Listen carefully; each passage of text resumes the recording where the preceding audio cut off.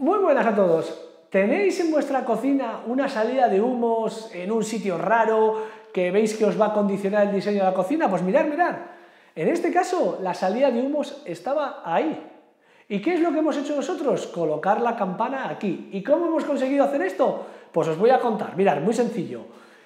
Al final, el, diseño es el que manda, es decir, la campana tiene que ir colocada donde nosotros creamos que, queda mejor y va a ser más útil para vosotros. Por tanto, no os preocupéis por la salida de humos. ¿Por qué? Porque en este caso lo que hemos hecho va por en este caso el tubo va por encima de este mueble, de este mueble, y aquí hemos tirado una balda campana hasta aquí, que es donde sale el tubo de la campana, y ahí conecta. Pues bien, una vez hecho eso, ya hemos solucionado el problema, ya tenemos la campana presidiendo la cocina. Pues ahora hay que rematar la faena. ¿Cómo se remata? Haciendo un cajón para que quede todo perfectamente tapado y tú no veas el tubo blanco en ningún momento.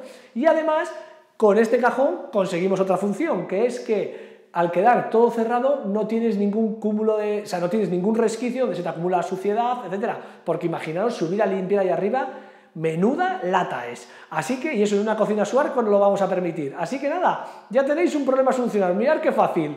Que la salida está allí, pues yo coloco la campana aquí, hago un cajón, lo cierro al techo, nos llamáis y listo. Hasta el próximo vídeo.